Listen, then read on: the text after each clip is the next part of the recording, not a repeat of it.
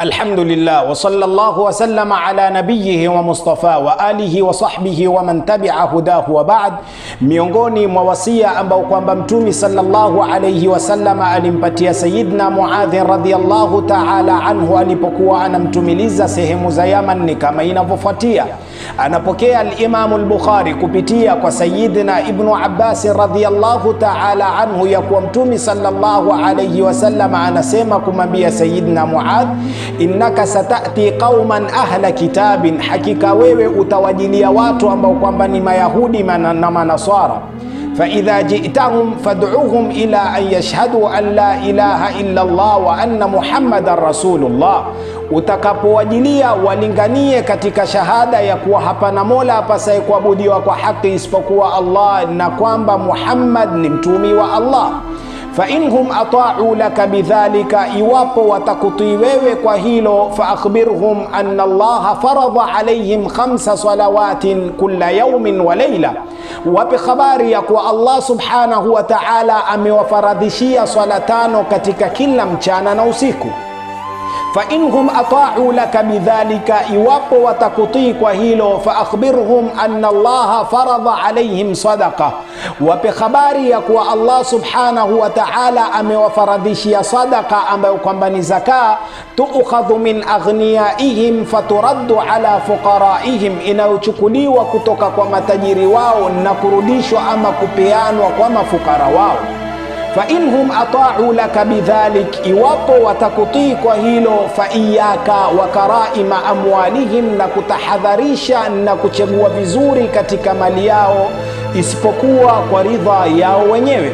Wattaqi da'wata almadhlum, na ogopa apizo la mtu mwenye kudhulumiwa. Fa innahu laysa bainaha wa baina Allahi hijab, kwani hamna baina ya apizo kama hilo na baina ya Allah subhanahu wa ta'ala kizuizi wala pingamizi ya aina yoyote.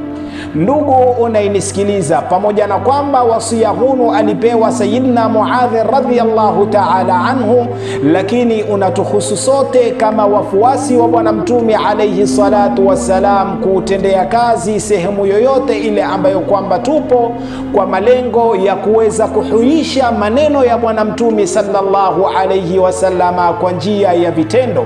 Na faida nyingine tunayotoka nayo katika hadithi kama hini ni kuwa dini ya Uislamu ni dini nyepesi na ni dini yenye nidhamu na mpangilio, na ndiyo maana unamwona Mtumi sallallahu alayhi wasallama anamwambia Sayyidina Muadh, wakikutii kwa hili ndiyo waambie jambo fulani, wakikutii kwa hili ndiyo waambie jambo fulani. Yaonesha ya kuwa dini ya Uislamu ni dini yenye nidhamu na ni dini yenye mpangilio, wala sio dini yenye uzito na ugumu.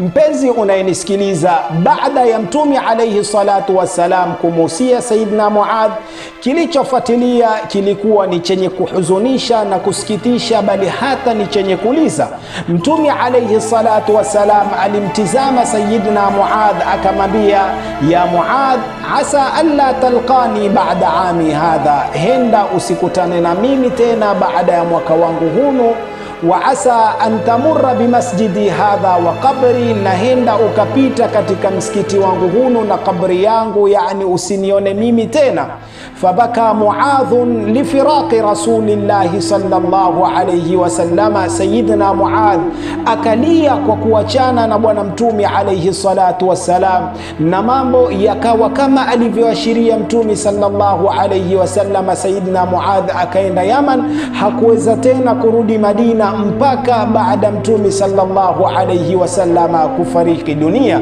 Tumwombe Allah subhanahu wa ta'ala aturuzuku katika ulimwengu kama hunu hajjatan wa umratan wa ziyaratan nabiy